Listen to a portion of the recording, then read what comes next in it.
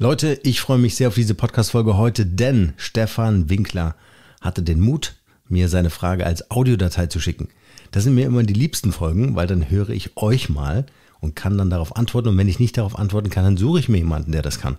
Irgendeinen Experten oder eine Expertin, die auf genau eure Frage eine Antwort findet. Also wenn ihr Lust habt, hier mitzumachen, schickt mir gerne eure Frage als Audio. Auf welchem Weg auch immer. Am besten über unsere Plattform Jeans Alliance University. Da ist auch Stefan ein sehr, sehr aktives Mitglied, worüber ich mich sehr freue. Kann ich auch eine ganze Menge lernen, inspiriert mich auch total, wenn ich mich mit euch, mit dir, Stefan, austauschen kann. Und deswegen das Thema der heutigen Folge lautet, wie führe ich als Startup meine Marke von Anfang an richtig? Wir hören uns jetzt die Frage von Stefan an und dann geht's los. Viel Spaß mit der heutigen Folge. Servus Naumann, Stefan hier. Mega cool, dass du das Thema rund um die Wichtigkeit von Marken behandelst. Eine Frage ist mir dazu eingefallen. Startups fokussieren sich ja anfangs normalerweise primär aufs eigene Überleben bzw. aufs Vorantreiben von einer bestimmten Idee. Welche Vorgehen würdest du Startups empfehlen, um das Thema der eigenen Marke trotzdem von Anfang an richtig mitzudenken? Liebe Grüße aus Österreich und danke. Ciao. Wenn aus Smart genial wird. Wenn aus vertrauensvoller Kooperation eine Allianz wird, dann kommt zusammen was zusammengehört. Entdecke den Digital Leader in dir und übernimm die Führung deiner digitalen Businesswelt. Du hörst den Genius Alliance Podcast. Du bist Unternehmer und möchtest die nächste Evolutionsstufe der Digitalisierung erreichen? Dann starte jetzt und gewinne neue Kunden im Online-Dschungel. Starken Interviews, wertvollen Erfolgsstrategien und hochspezialisierten Digitalexperten. Der Genius Alliance Podcast. Von und mit Founder and CEO Norman Müller. Lass uns loslegen. Wie führe ich als Startup meine Marke von Anfang an richtig? Und ich weiß ganz genau, was ihr euch jetzt wünscht. Eine Mal nach Zahlenanleitung. Schritt für Schritt, wie muss ich das machen? Und in Ansätzen kann ich das euch auch so in dieser Podcast-Folge heute hier liefern, aber, und da sind wir schon beim Problem, das Thema Marke ist ein hoch individueller Prozess. Es gibt kein Template dafür. Es gibt nur den richtigen Zeitpunkt und der ist jetzt oder gestern schon. Am besten von Anfang an Marke denken. Und ihr werdet auch im gleichen Laufe dieser Podcast-Folge verstehen, warum das Ganze so ist. Das Thema nachhaltige Marken bauen, und damit meine ich eine Marke, die Bestand hat, über die ihr in drei, in fünf, in zehn Jahren nicht mehr nachdenken müsst, weil das wäre fatal, weil ihr investiert die ganze Zeit in Marke. Und dann wäre es natürlich ein Problem, wenn ihr die Marke verändern müsst. Manchmal ist das nicht anders möglich, aber wenn es zu vermeiden geht, dann unbedingt vermeiden. Weil dieses Invest, dieser Wert, der dort entsteht, den einfach wegzuwerfen oder einfach mal zu erneuern, das haben schon ganz viele andere Firmen gemacht. Du fängst quasi mit deinem ganzen Image, mit deiner ganzen Kommunikation von Null an. Und was ich euch mit auf den Weg geben heute, äh, das war kein deutscher Satz, äh, was ich euch heute mit auf den Weg geben möchte, ist die Entwicklung, die Entwicklung einer Marke ist im Grunde die Arbeit einer Manufaktur. So kann man das, glaube ich, gut in einem Bild ähm, abbilden. Was wir nur sehr oft versuchen, ist so diese mechanische Erzeugung von Marken. Ihr werdet auch gleich verstehen, dass das ein ganz großer Unterschied ist. Also Manufaktur, so dieses Handmade. Das heißt jetzt nicht, dass man eine Marke von Hand zeichnen muss, sondern das heißt ein intensiver handwerklicher Prozess und nicht ein industrieller mechanischer Prozess. Mechanisch, damit meine ich, du gehst auf irgendeine Seite, kaufst dir für 300 äh, ähm, Euro ein Logo, weil deine Initialen da drin sind oder weil irgendwie so ein Kringel da dir besonders gut gefällt und dann bist du fertig, sondern das muss handmade sein, das muss eine Qualität haben, das muss eine, ähm, eine, eine, eine, eine Unverwechselbarkeit haben. Ihr werdet jetzt gleich verstehen, worauf ich hinaus möchte. Ein wichtiger Satz, den ihr euch unbedingt aufschreiben müsst, behandle deine Marke wie einen Traumkunden, dann wird sie dich genau dorthin bringen. Ich wiederhole das Ganze nochmal, ihr könnt es auch nachlesen in den Shownotes dieser Podcast-Folge. bei uns auf der Plattform, behandle deine Marke wie einen Traumkunden, dann wird sie dich genau dorthin bringen. Und jetzt kannst du schon mal anfangen, darüber nachzudenken, wie du deine Marke behandelst. Ja, behandelst du deine Marke wie einen Traumkunden oder hast du gesagt, hey, am Anfang habe ich da ein Logo hingeklebt und das begleitet mich seitdem. Ich kümmere mich um das Thema Marke überhaupt nicht. Ja, das ist überhaupt nicht präsent bei mir. Ja, ich weiß, so sieht meine Visitenkarte aus, meine Website. Auf meinem Auto hinten auf der Heckscheibe klebt ein Aufkleber drauf. Ihr versteht? Ja, das Ding ist einmal entwickelt und dann vergessen. Und das ist der große Fehler. Bevor wir einsteigen in meine kleine To-Do-Liste, kleine große To-Do-Liste, ja, äh, möchte ich nochmal auf die Kraft, auf die Power von Marken eingehen und eigentlich in eine sehr sehr schlimme Zeit oder in eine sehr, sehr schlimme Zeit zurückgehen, nämlich in der Zeit, in der Hitler an die Macht kam. Und ihr wisst ganz genau, wie das gesamte Erscheinungsbild um diese schreckliche Person äh, herum entwickelt wurde für Propagandazwecke, um Menschen negativ zu beeinflussen. Und jetzt habt ihr eine Vorstellung, wozu Marken in der Lage sind. Sie können natürlich auf der einen Seite was Gutes tun, indem ich ein tolles Produkt anbiete, ja, indem, ich, indem ich für Frieden, eine Friedenstaube zum Beispiel kreiere. Oder ich kann es natürlich auch im Negativen behandeln. Was ich mir heute für eine Frage stelle, wenn ich so die ganzen Sendungen anschaue, ähm, äh, wo es äh, um die Jugend, Judenverfolgung ging oder jetzt aktuelle äh, Film zu dem Thema, unglaublich, wie können sich so viele Menschen etwas so Schrecklichem anschließen? Und welche Funktionalität hatte das Thema Branding damals? Na, diese Hierarchisierung diese kraftvollen, ausdrucksstarken, kontrastreichen, harten Symboliken. All das ist Branding. Marke kann auch blenden. Marke kann auch negativ sein. Und äh, dieses Beispiel habe ich ausgewählt heute, einfach deshalb, damit ihr versteht, wie kraftvoll das Thema ist. Und wenn du das vernachlässigst, in deinem Unternehmen entgeht dir ein großes Potenzial, eine große Chance, deinen Markt ganz anders zu bespielen, zu erreichen, zu durchdringen, zu begeistern und so weiter und so fort. Wir benutzen das natürlich im positiven Sinne, ja, völlig klar. Aber dieses Beispiel soll dir wirklich einfach mal vor Augen führen. Jeder hat die Bilder, diese schrecklichen Bilder vor Augen, was damals passieren konnte mit den Menschen, und unter einer solchen kommunikativen Markenführung. Und das war ein wichtiger Part für diese schrecklichen Menschen damals. So, jetzt aber wieder zu den positiven Dingen.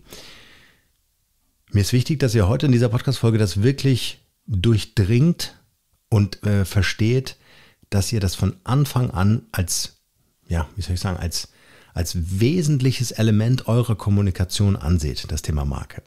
Erstmal möchte ich mit euch kurz rein, was ist Marke eigentlich? Das ist nicht nur Logo, das ist, das ist Typografie, das ist Bildsprache, das ist Farbwelt, das ist Haptik. Ja, Haptik, das, was ihr spüren könnt, eure Visitenkarte. Ihr habt keine Visitenkarte? Denkt mal drüber nach, ist wichtig. Wir treffen uns bald alle wieder, wenn die Pandemie durch ist und dann brauchen wir Visitenkarten. Also schöne Visitenkarten produzieren lassen, die ein haptisches Erlebnis äh, produzieren. Ja? Meine Visitenkarte zum Beispiel hat so eine Tiefprägung mit so einer Folien, Goldfolien. Äh, Kaschierung, ganz dicker Karton, quadratisch, nicht so typisches Visitenkartenformat. Also diese Haptik der Marke. Und ich sage zum Beispiel im Digitalen, es gibt auch eine digitale Haptik. User Interfaces, ja. Wie viele geniale Geschäftskonzepte habe ich gesehen von Startups, wo aber diese digitale Haptik gefehlt hat, wo das User Interface Design einfach scheiße ist. Sorry, ja. Aber es ist halt, wir sind verwöhnt von Apple. Da kannst du keine App in den App Store bringen, die so schlecht aussieht, als wäre sie, sie zu Beginn des App Stores entwickelt worden. Ja? Also das ist total wichtig. Du machst dich völlig unglaubwürdig, wenn du über KI und digitalisierte Prozesse und so weiter und meine App, wow, wir werden Marktführer sein und dann sieht die halt einfach schlecht aus. Sorry, aber das ist einfach, und das gilt für jedes Business. Das kannst du als Schablone über jedes Business drüberlegen. Nimm mal an, du bist Coach. Ja, du bist echt ein guter Coach. Du bist so ein, du bist so ein Flirt-Coach. Ja, so. Wenn deine Website scheiße aussieht, dann wird dich keiner buchen, weil dir das keiner abnimmt, dass du ein Profi bist. Ist einfach so. Die rufen dich aber nicht an und sagen, oh, ich hätte dich gern gebucht, habe ich aber nicht, weil ich habe deine Website besucht. Sondern das ist so ein leises Sterben einer Marke oder eines Unternehmens. Und deswegen unterschätzt das Thema Marke nicht. Was gehört noch zu einer Marke? Audio, ja, Podcast, dieser Podcast, das, was ich jetzt hier sage, wie ich das sage, ob sympathisch oder unsympathisch, all das zahlt in die Marke Genius Alliance ein. Jeden Mitarbeiter, jeden freien äh, Kollegen oder Mitarbeiter, den wir beschäftigen, wie der sich in seiner Community bewegt, die Mentoren für unsere Masterclasses, so wie die mit ihren Kunden oder mit unseren Leuten in der Community umgehen, das zahlt alles in unsere Marke ein. Ein scheiß Service zahlt in deine Marke ein. That's it. Ja, so. Also all das ist Marke und jetzt merkt ihr schon, wie komplex das eigentlich geworden ist. Allein durch die digitalen Medien.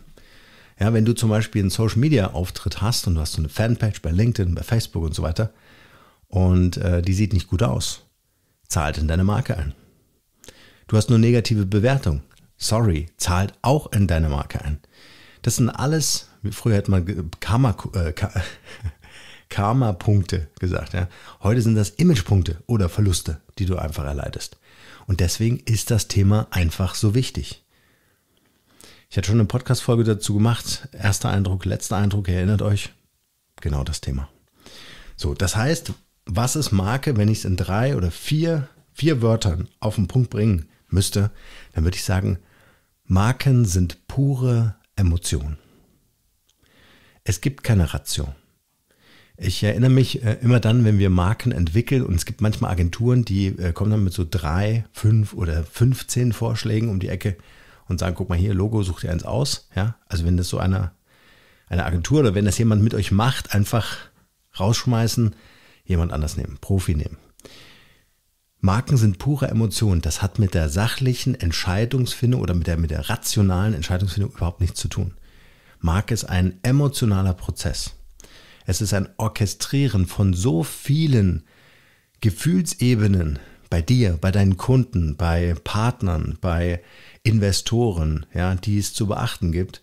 Und deswegen ist die Qualität, die, die, die, äh, die Produktion in der Manufaktur, eine Marke herzustellen, auch so schwierig oder von Experten zu übernehmen. Und deswegen bezahlst du dafür auch Geld. Ja, es gibt ja, es gibt ja Tarife, äh, Allianz Deutsche Designer zum Beispiel, die haben so eine Tarifliste, da kannst du nachschauen, was kostet meine Marke für Deutschland, Europa, international, also Thema Nutzungsrechte. Und äh, da müsst du feststellen, da kommst du unter 12.500 Euro für eine internationale Marke halt einfach nicht drunter. Ja, so. Und dann gehst du auf eine Website, egal wie der heißen, und kannst ein Logo für 300 Euro kaufen. So, wie effizient ist dieses Logo? Wie kraftvoll ist dieses Logo? Wie eng ist das mit dir emotional verbunden? Was hat das mit deinen Kunden zu tun? Und auf diese Reise wollen wir jetzt gerade mit. Du hast am Anfang keine 12.500 Euro. Ist mir klar. Geh an eine Universität, da gibt es ganz viele Kommunikationsdesigner, die dir helfen werden, die das Handwerkszeug haben, vielleicht nicht die Erfahrung, aber die sich ganz anders an das Thema Erscheinungsbild, an das Thema Branding äh, heranarbeiten wie ein fertiges Logo von der Stange was ja jeder kaufen kann. So, also Marken sind pure Emotion. Wie entscheiden wir uns? Thema Kaufentscheidung. Wir entscheiden uns aus der Emotion heraus. 80 Prozent unserer Entscheidungen oder das, was unsere Entscheidung ausmachen, 80 Prozent sind Bauchgefühle, sind emotionale Gefühle. So, das heißt, wenn mein, wenn mein Bauch etwas sieht, was nicht professionell ist, was der Qualität nicht entspricht, und äh, ich demnach sage, oh nee, das kann nichts Vernünftiges sein. Und dann wollen die noch 12.500 Euro. Wow, na, niemals. Ja, wenn du einen anständigen Stundensatz verdienen möchtest, dann musst du das auch glaubhaft machen. Dann musst du das darstellen, formal, über deine Marke, über deine Website, über deine Visitenkarte. Ein kurzer Hinweis an dieser Stelle auf unseren neuen Podcast-Sponsor New Lunch. Wenn du deinen Mitarbeitern etwas Gutes tun und vor allem auch für neue Fachkräfte attraktiver werden möchtest, dann schau dir unbedingt New Lunch an. Das Team um die Gründer Michael Menten und Sven Köhler kümmert sich um subventionierte Mitarbeiterverpflegung durch steuerliche Essenszuschüsse. Das heißt, der manuelle Belegcheck und undurchsichtige steuerliche Vorgaben gehören damit der Vergangenheit an. Das Ganze funktioniert natürlich ganz smart über eine Mobile App mit einem digitalen Marktplatz und kooperierenden Restaurants. Essenszuschüsse sind ohne Frage schon lange eine beliebte Möglichkeit, die Steuerlast sowohl für das Unternehmen selbst als auch für die Angestellten zu optimieren. Und das ist nun endlich von New Lunch bedingungslos digitalisiert worden. Also minimaler Aufwand und direkte Benefits für deine Mitarbeiter statt umständliche Rückerstattungsprozesse über die Gehaltsabrechnung.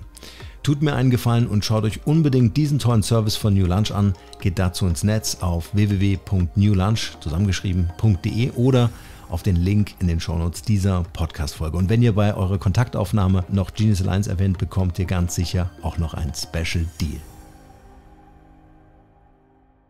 An diesem Stundensatzbeispiel seht ihr zum Beispiel auch, welchen Einfluss Marke auf den Wert eurer Dienstleistung hat. Ja, ich kann eine ganz hässliche Visitenkarte abgeben, habe dasselbe Know-how. Ja, bin immer noch 20 Jahre Unternehmer gewesen ähm, und äh, kann mit dieser hässlichen Visitenkarte vielleicht 90 Euro abrechnen. Aber mit der anderen Visitenkarte glaubt man mir schon mal eher, ja, dass das 300 Euro wert ist. Obwohl ich das Gleiche weiß, dieselben Erfahrungen gemacht habe. Es ist eine andere Wirkung und um diese Wirkung geht es. Und Wirkung ist Emotion. Das geht ganz tief in uns rein, das können wir manchmal gar nicht erklären. Und das sind ein Bruchteil von Sekunden, in denen diese Wirkung ähm, uns zu einer Entscheidung führt. Etwas nicht zu kaufen oder eben zu kaufen. Marken brauchen auch immer wieder Menschen, die sie beatmen. Du baust eine Marke nicht für irgendetwas, also für einen Markt, für ein Objekt, ja, sondern du, also immer für Menschen. Von Menschen für Menschen. Und das muss diese Marke ausdrücken. Das heißt, diese Marke muss emotional so aufgeladen sein, so cool sein, weil sie sich mit den ganzen Werten, ja, mit deiner Mission, mit deiner Vision, mit diesem ganzen Zauber deiner Unternehmenskultur so eng verbunden hat, dass die Leute sagen, oh Mann, ey, das will ich auch. Kann ich bei dir arbeiten? Gibt es übrigens T-Shirts, würde ich jeden Tag tragen. Ja, ich habe 800.000 Follower bei Instagram. Ich ziehe das T-Shirt an, weil ich einfach geil finde. Brauchst mir nichts bezahlen. Ich finde es einfach geil. Ich finde euch geil. Mega. Ihr gebt 50% eures Umsatzes an, an soziale Projekte. Gebt mir das T-Shirt. Ich trage es so lange, bis es mir vom Körper fällt. ja? Also, Marken werden für Menschen gebaut, die sie beatmen. Menschen, die das weiter transportieren. Du bist nur allein. Du allein kannst nicht viel ausrichten. Ja? Wirst ein paar Leute überzeugen, wirst ein paar Projekte machen. Und wenn du das nicht schaffst, über diesen Punkt hinauszukommen, dann kannst du nicht skalieren. Dann kannst du diesen emotionalen Sog überhaupt nicht erzeugen, ja, wie wenn Leute sagen, wow, ich will dabei sein, ja. Komm, bezahl mir nichts. Ich arbeite umsonst, ehrenamtlich, bis es läuft, ja. Warum? Weil ich an dich glaube, weil ich an deine Marke glaube und ich trage diese Marke. Wahnsinn, oder? Es ist eine Begeisterung der Menschen, die du einfach für dich als Wertschätzung anerkennen kannst. Ja, als Wertschätzung deiner Arbeit, deiner Brand. Offenbar hat diese Marke, die du da entwickelt hast, einen, einen, einen hohen emotionalen Wert, weil die Menschen sonst ganz anders reagieren würden. Es würde die gar nicht interessieren. Die würden nicht nach einem T-Shirt fragen. Marken sind Kult, habe ich mir aufgeschrieben, wenn du sie selbst trägst. Wie verliebt bist du in deine Marke? Ist es so, dass wenn du heute deine Visitenkarte anguckst und denkst dir, leck mich am Arm, ist das geil. Ich hatte letztens einen Kundenanruf. Niklas, hallo und liebe Grüße an dich. ich bin sicher, du hörst diese Podcast-Folge. Ähm, der rief mich an und sagt, Norman, was wir da gebaut haben, ist schweinegeil. Und er hatte die Unterlagen, fertigen Unterlagen von der Druckerei bekommen. Ja, wir haben eine Marke mit sämtlichen Kommunikationsmaßnahmen entwickelt und er sagt, ruft an und sagt, hey, das ist schweinegeil.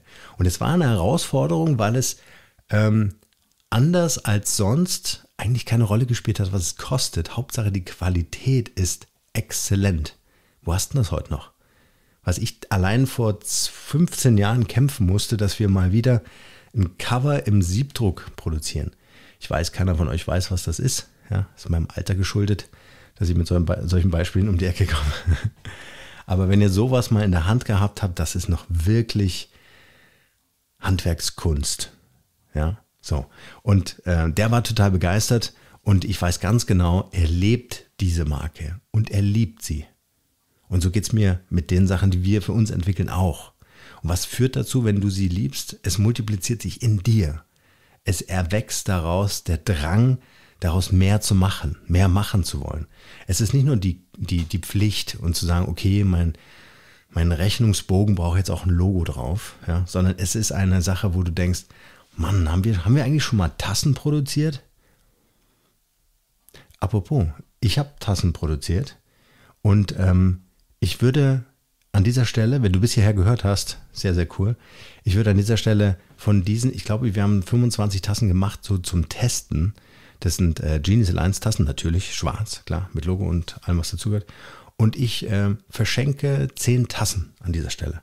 Und zwar an die nächsten 10 äh, Audionachrichten von euch mit eurer Frage für dieses Format hier. Ähm, mit dieser äh, Frage, ich muss jetzt nur kurz laut denken. äh, die wir dann hier auf äh, Sendung natürlich auch äh, bringen können. Ja? Also schick mir eine Audionachricht mit deiner Frage und du kriegst eine Tasse. So, und die ersten zehn kriegen die Tasse. Wir müssen so ein bisschen ähm, äh, aufpassen, wenn du jetzt sagst, ich schicke dir zehn Nachrichten und mit zehn Fragen und das kommt alles von einer Person, dann machen wir eine Tasse, aber ich denke mir dann noch was aus, okay? Also, zehn Tassen stehen jetzt hier zur Disposition. Und das ist das, was ich meine. Ja, du entwickelst eine Tasse, dann sagst du, ey, so eine Fashion Collection, äh, Collection wäre doch cool. Oder? So ein Merch. Einfach so ein paar T-Shirts, ein paar Hoodies, whatever. Und, und dann fängst du an, einfach mit dieser Marke ja, zu wachsen, indem du einfach sagst, ey, ich finde das einfach cool und ich produziere das jetzt einfach. Ich mache das jetzt einfach. Ich investiere da jetzt. Ja. So, äh, wir hatten das Thema Kult, ja. Marken, ah ja, auch ein wichtiger Punkt. Marken haben mehr mit uns als Persönlichkeit zu tun, als wir glauben. Ähm, Marken sind heute keine abstrakten Konstrukte mehr. Ja? Äh, sowas wie Nike, Adidas und so weiter, das, das gab es alles mal, gibt es heute immer noch, immer noch super mega erfolgreich, ohne Zweifel. Aber das baust du als Brand heute kaum noch, noch mal neu sondern wenn ihr so merkt, was so gerade so die aktuellen ähm, Newcomer Unternehmer, durchaus auch Unicorns sind, dann sind das Leute, ja, die mit ihrer Personal Brand ganz vorn stehen und sagen, hey, Steve Jobs, ja, äh, oder Mark Zuckerberg, genau das Gleiche. Die stehen einfach mit ihrer Personal Brand für das Unternehmen. Wer steht für äh, Nike ganz vorne? Wir sind die wenigsten, ja, oder Adidas. Wir sind auch die wenigsten. Das heißt, Personal Branding ist heute mega wichtig in der Markenführung und deswegen bist du ein wichtiger Teil, wenn du diese Marke führst, wenn du das Unternehmen führst, dass du diese Marke auch repräsentierst. Tun sie ältere Semester sehr schwer, ja, die dann sagen, ey, in den letzten 30 Jahren musste ich nicht von Mikro oder von einer Kamera oder mich im Internet irgendwie exponieren. Äh, das werde ich in den nächsten drei, 30 Jahren äh, bis zur Rente dann ja auch nicht machen müssen, oder? Doch, doch. Bitte, Warum? Weil das eine Frage von Trustbuilding ist. Ja, du musst ja das Vertrauen herstellen. Die Leute wollen einfach wissen, mit wem habe ich denn da zu tun. Kann ja sein, dass deine Marke cool ist oder beziehungsweise dass deine Produkte wertig sind und das Preis-Leistungs-Verhältnis mega ist. Aber wenn du mir nicht sympathisch bist, kaufe ich bei dir nicht. Ist ganz einfach. Wenn du dich nicht engagierst für den Klimawandel äh, oder gegen den Klimawandel äh, oder irgendeinen sozialen, äh, gesellschaftlichen Beitrag leistet, na, sorry, dann kaufe ich dein Produkt einfach nicht. So. Also zeig dich. Total wichtig. Und eine Riesenchance auf der anderen Seite auch. Ja? Erzähl nicht deinen ganzen persönlichen Kram, auf keinen Fall, sondern zeig dich einfach. Zeig die Mitarbeiter hinter den Kulissen. Ist wichtig. Mach dich nahbar, mach dich erreichbar. Antworte auf Fragen. Also mir ist das zum Beispiel total wichtig, dass wenn zum Beispiel Anfragen reinkommen. Ich will immer den Kontakt mit dem Kunden nicht verlieren. Das darf nicht so ein Distanzthema sein, wo ich sage, ach, kümmert sich jetzt das Callcenter drum oder macht jetzt hier äh, meine Assistentin oder sowas. Nee, gar nicht. Ich will das ja selber erleben. Ich will wissen, was mit den Leuten los ist. Worüber denken die nach? Was ist gerade schwierig? Ja, wo kann ich helfen? Und dafür muss ich mich zeigen und präsent sein. Also Personal Branding unbedingt nochmal anschauen. Ich kann jetzt nicht so ausführlich werden, weil ich schon ein bisschen auf die auf die Zeit gucke. Ich will euch aber unbedingt meine Stichpunkte hier noch äh, zum Besten geben. So, wo war ich jetzt hier? Ah ja, Marken sind ein wesentlicher Teil der Kaufentscheidung. Wir hatten das vorhin schon mal mit diesem ganzen emotionalen Thema.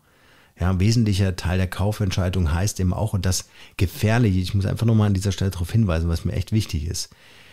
Viele haben das nicht auf dem Radar, dass aufgrund der aufgrund schlechter Markenführung Käufe nicht erzielt werden.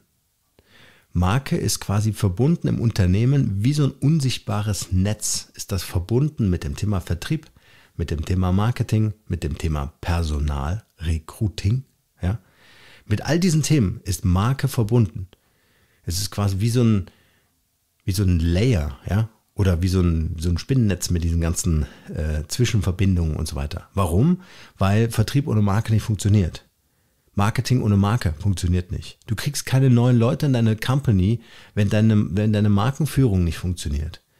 Ja, wenn du nicht glaubhaft rüberbringen kannst, dass du ein geiler Arbeitgeber bist. Und die Leute bei dir arbeiten müssen, weil es niemand besseren gibt. All das ist Marke. All das ist Branding, Image, Kommunikation. Deswegen wichtig, unbedingt drum kümmern und das bitte, um auch mal auf den Titel einzugehen von dir, Stefan, als Startup das Thema Marke von Anfang an richtig machen und mit richtig meine ich nicht, du kannst natürlich nicht wissen, was sind so die nächsten wichtigen Schritte, es sei denn, du nimmst dir einen Mentor mit an deiner Seite, aber das Wichtige ist, schenk ihr die nötige Aufmerksamkeit von Anfang an, weil auch ein Investor oder auch in der Pre-Seed-Phase, wenn du so anfängst mit Business Angel oder mit Partnern zu kooperieren, hey, du verkaufst dich über die Marke. Ja, wenn der Business Angel sieht, wow, das ist doch professionell. Habt ihr eine Agentur? Wer habt ihr das gemacht? Hast du die halbe Miete? Du hast die, die, die, du hast ja, du hast ja schon 80% Emotionen gerade abgeholt. Der Rest muss dann nur noch sauber sitzen. Businessplan, Pitch Deck und so weiter. Ja, aber die Wirkung zu erzielen, von Anfang an gleich, unbedingt wichtig. Es ist wirklich, ich muss wirklich sagen, ähm, wir werden das Problem auch zusammenlösen, wenn ihr das wollt. Ja? Aber es ist teilweise wirklich schlimm, was wir an Pitch-Decks bekommen, an schlechten Präsentationen bekommen. Muss man wirklich sagen, es sind Ausnahmen, wo man sagt, wow, mal was anderes. Oder da muss ein Designer mitgewirkt haben. Ja, und wenn ich die ganzen Sachen irgendwie in eine Grafik, äh, in, in, in, eine Grafikagentur gebe und sage, hey, könnt ihr mir das irgendwie aufhübschen? Ja. Ja, ist schade, lösen wir aber. Da kommt was, verspreche ich euch. In der Genius Alliance University an dieser Stelle gleich nochmal der Aufruf, äh, kannst dich kostenlos re registrieren und geh mal unter Mentorings, Live Mentorings ist der Menüpunkt, äh, gehst du auf Knowledge Space, findest du unfassbar viel Content, alles kostenlos. Ja, musst dich aber registrieren, kostenfrei. Dann gehst du auf die Mentorings und dann auf Knowledge Space.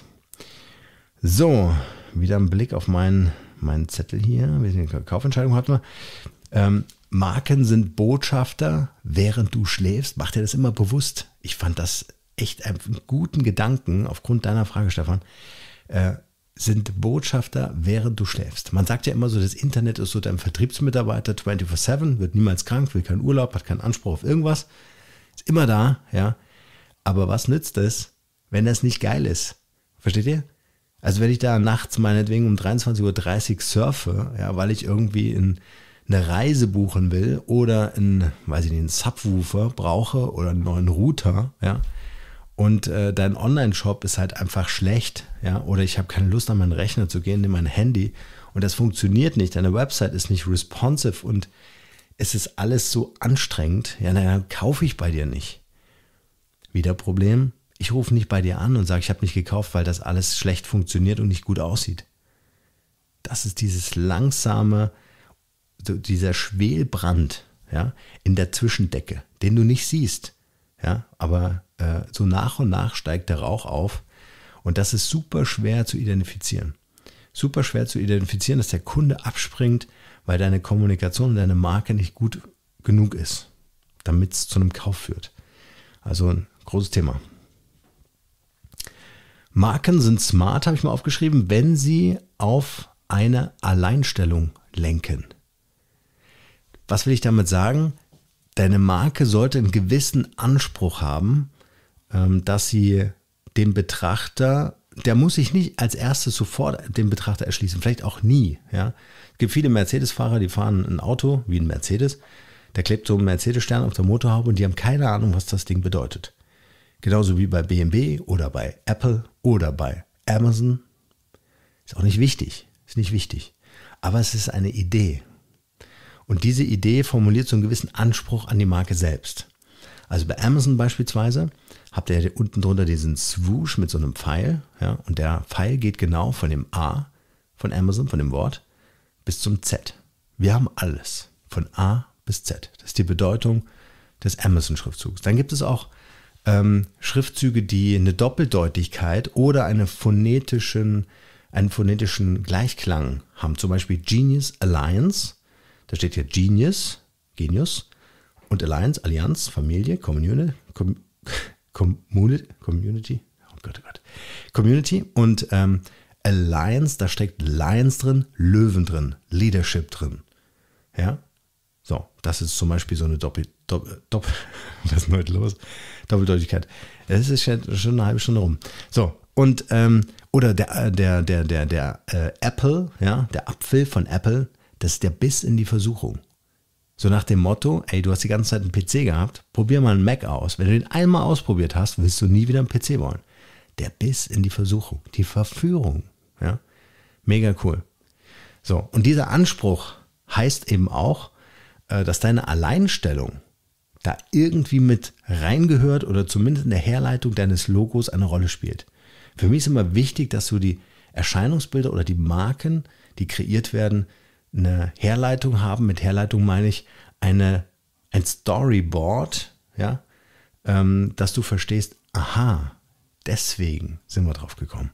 Deswegen ist das Logo entstanden. Nicht, weil es irgendwie hübsch war oder uns auf einer sehr, ja, sehr subjektiven Ebene angesprochen hat, sondern weil es eine wirklich tragende Leitidee hat. Ja. So, jetzt haben wir nicht mehr, nicht mehr viel. Marken sind anspruchsvoll. Sie wollen dem Träger mehrere Perspektiven eröffnen. Das deckt sich so ein bisschen mit dem, was ich gerade gesagt habe. Äh, diese mehreren Perspektiven ist ähm, diese Mehrdimensionalität von Marken. Wird jetzt auch ein bisschen weit führen, ist vielleicht so ein kleiner, äh, ein kleines äh, Live-Webinar-Thema. Ähm, aber Mehrdimensionalität heißt, äh, du möchtest ja zeigen, was deine Kompetenzen sind. Du möchtest ja zeigen, was deine Werte sind, wofür du stehst, was deine Unternehmenskultur, dein Selbstverständnis, all diese Dinge. Und das ist die Komplexität in der Markenentwicklung, dass ich das abbilden äh, möchte, muss. Ja, und das ist äh, im, im, Grunde ähm, dieser Manufakturgedanke, dass das durchaus möglich ist, aber das ein Entwicklungsprozess ist. Ja, Marken entwickelst du. Die sind nicht einfach nur da. Ist nur immer, immer lustig, wenn, wenn, wenn der Kunde sagt, ey, wir machen jetzt eine Markenentwicklung, ja, und dann sieht der, okay, so sehen wir heute aus, ja, und dann gibt es irgendwie ein Konzept, dann gibt's, tüftelt man so, so ein paar Wochen, dann kommt man wieder und sagt, schau mal her, das ist deine Marke. Und dann ist es so banal einfach, aber auf diese Brillanz, auf diesen reduktiven Gedanken, auf dieses Destillat musst du erstmal kommen. Ja, also wie anstrengend ist das, aus einer aus, ja, aus einer Masse heraus, einer Masse von Flüssigkeit, ein Destillat zu gewinnen, das so kostbar ist. Muss ja auch einen gewissen Aufwand betreiben. Den sieht der Kunde oftmals nicht. Ja? Deswegen ist immer schwierig zu sagen, ah ja, und das hat jetzt 12.500 Euro gekostet. Interessant. Ich würde sagen, an dieser Stelle, wenn euch das Thema interessiert, lasst es mich wissen. Schreibt in die Kommentare unter den Shownotes dieser Podcast-Folge, was ihr davon haltet, was eure Herausforderungen sind. Ich gebe gerne zu einem Kommentar. Wenn es mehr wird, als wir jetzt hier denken, dann äh, mache ich auch gerne nochmal eine Fortsetzung zu diesem Thema. Oder äh, könnte mir auch gut vorstellen, dazu auch meine eigene Masterclass zu machen. Wenn dich das interessiert, wie gesagt, in die Kommentare rein. Ich muss es nur wissen, dann können wir das mit unserem Team auch entsprechend planen. An dieser Stelle, ich bedanke mich bei dir, Stefan, für deinen Mut, für diese geile Frage und für, diesen, für diese tolle Podcast-Folge, die daraus entstanden ist. Also, bis bald. Ciao.